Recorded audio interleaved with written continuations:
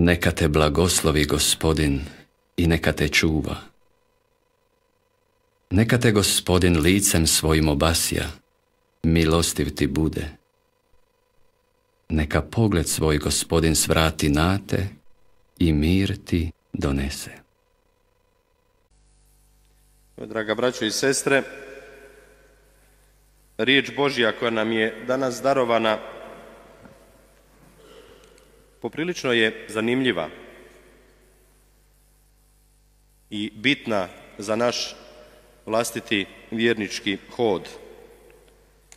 Iznimno bitna ta riječ odjekuje, čuli smo je i tek nekoliko naglasaka želim staviti pred svakoga od nas kao poticaj za razmišljanje i nadahnuće. Prve Kristove riječi, prvi naglasak večerašnjeg promišljanja u Ivanovom evanđelju vrlo, vrlo su znakovite, vrlo su bitne, iznimno važne. Što tražite? Što tražite? Pita Isus Krist onu dvojicu učenika koji su čuli, onu dvojicu učenika kojima je Ivan Krstitelj rekao, evo, to je jaganjac Boži, to je taj, koji su pošli za njim, koji su ga pratili i Krist se njima obratio. Što tražite? Mi kao vjernici, nitko od nas, dakle, ni ja kao svećenik, nitko, ni, ni, ni vjernici laici, nitko ne može ostati ravnodušan nad tim pitanjem. Što tražite? Pita Isus Krist i mene i tebe večeras. Vrlo jasno, vrlo konkretno. Što želiš? Što tražiš? Za čim ti je? Zašto si tu na kraju krajeva? Zašto si došao na ovo euharistijsko slavlje? Danas je četvrtak, danas ne moramo doći. Nije nedjelja, nije zapovjedani blagdan. Zašto smo onda tu? Šta tražimo? Šta smo došli bez veze? Nismo imali pametnije provesti ovo vrijeme negdje dalje? Ili smo tu s nekim razlogom? I odgovor, mi braćo i sestre slutimo u našem vjerničkom srcu, ako ćemo biti malo iskreni prema sami sebi, a trebali bismo i trebamo biti, jer u našem srcu, ovdje tu, u našoj pameti, upisana je ta čežnja za jednim dubljim smislom. Mi tragamo za dragim Bogom. Mi tražimo odgovore na određena pitanja koja nas muče, koja su postavljena, koja nam nekada i dolaze s vremenom u našem životu, jer razvijamo se, rastemo i u vjeri, i u duhovnosti, i u životu, kao što i starimo. Pa nam nije ista preokupacija kao prvopričesnicima ili kao odraslim vjernicima ili kao odraslim ljudima. Nije isto biti tek na početku đakon ili svećenik prve godine ili 15-20 godina poslije. Stekneš ponešto iskustva, ali u tvome srcu i dalje postoji ta čežnja, ta potraga, što tražite. I promotrimo sada ove učenike. Zato je ovo čitanje, nije, nije to tek taka fraza, jel to je sad evo važno, bitno, to ću reći za svako evanđelje. Ma, nije naglasak na tome, braćo i sestre. Vidite, oni su bili Ivanovi učenici. Oni su već tragali, oni su već bili na putu promjene obraćenja, oni su nešto željeli učiniti sa svome, svome životu. Ivan im je rekao, tu je sad Ivanova veličina, to svi znamo, to bih mogao puno toga reći, da nije nikada svojatao da je on Mesija ili spasitelj, nego je pokazivao, ukazivao na Isusa Krista, navještao ga. Dakle, oni su već bili nečiji učenici, to ne bilo čiji, nego Ivanovi. I svejedno su pošli za Isusom. I svejedno se Isus njima obratio, što vi tražite? Učitelju, gdje stanuješ? Gdje si ti? Gdje je tvoje mjesto boravka? I ne opet onome smislu kako bismo mi zapadnjaci današnjega vremena rekli, ba Sveti Duh 31, Bazilika Svetog Antuna, ukucaj na Google Maps pa ćete dovesti do ovdje. Ne.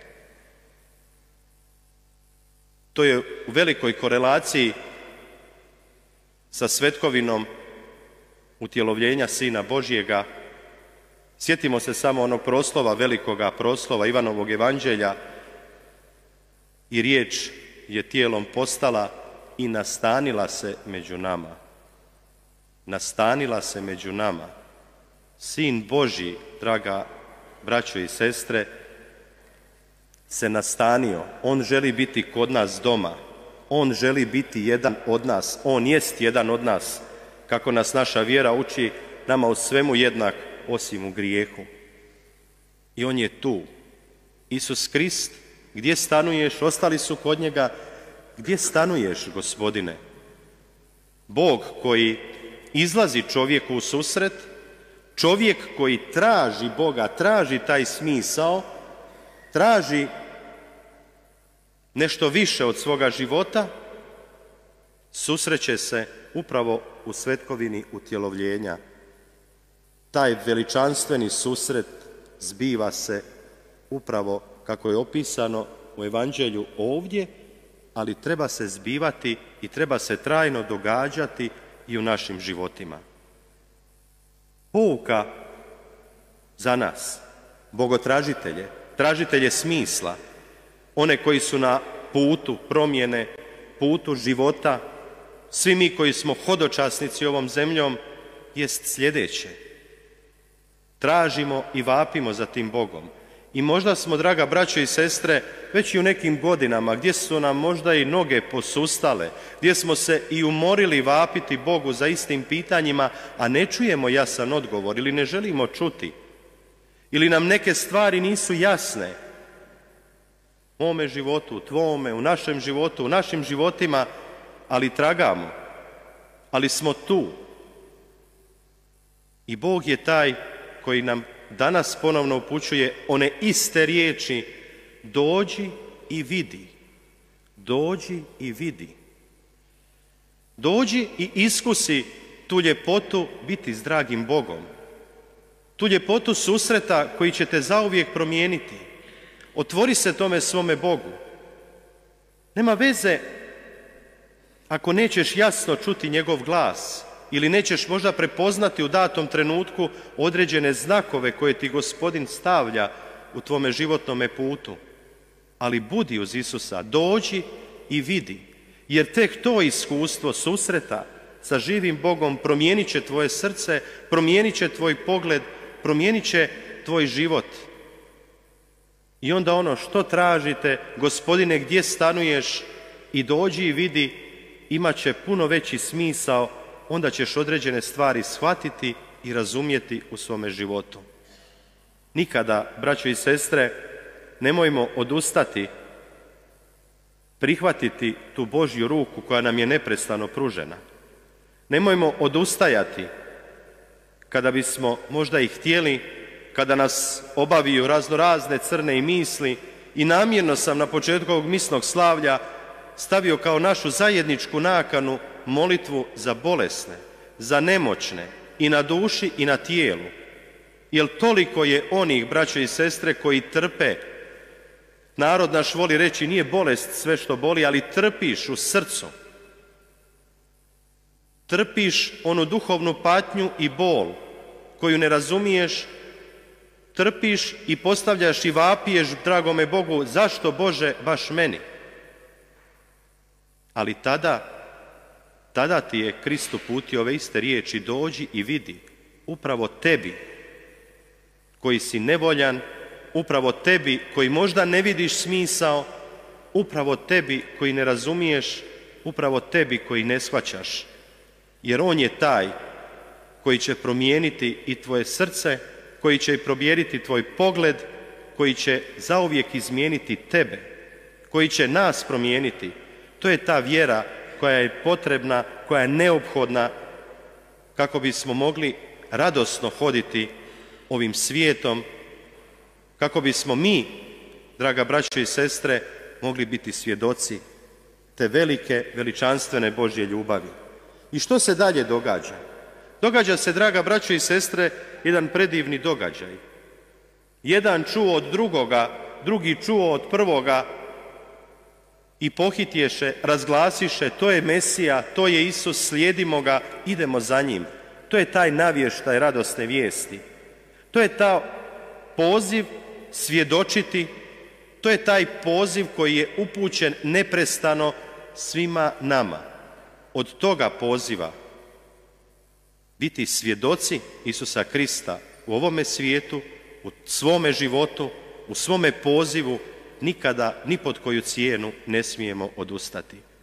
To je zadaća, to je zadatak svih nas krštenika, svih nas koji se nazivamo Kristovim imenom. Pa ohrabreni, osnaženi, braće i sestre, ovom Kristovom riječi, ovim pozivom, ovom evanđelju, nemojmo odustati od svoga života, nemojmo odustati od potrage za smislom, za Isusom Kristom koji je jedini smisao i koji će dati smisao našem životu, koji će dati smisao našoj egzistenciji, našim životnim stanjima, svemu onome što mi jesmo i svemu onome što ćemo tek postati na što smo pozvani. Pa neka nas ova riječ, ovaj susret u Euharistiji, susret u pričesti sa našim Bogom zaista promijeni. Neka učini ono što je potrebno da uistinu u potpunosti budemo jedino Kristovi. Jer možemo mi tražiti smisao negdje dalje. Možemo mi stvoriti sebi privid da ćemo negdje dalje biti sretni, ali nećeš. Tek ćeš sa Kristom biti sretan. Tek ćeš s njim biti zadovoljan. Ono što je bitno nama vjernicima znati da se On nastanio, da se On utjelovio, da se On udomio u našu cjelokupnu stvarnost.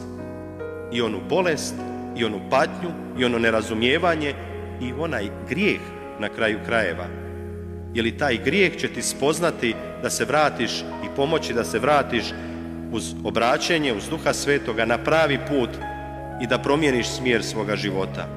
Zato s riječju Božjom, sa Isusom Kristom hrabro, draga braćo i sestre, i ovu godinu i ovo vrijeme koje smo započeli. Amen.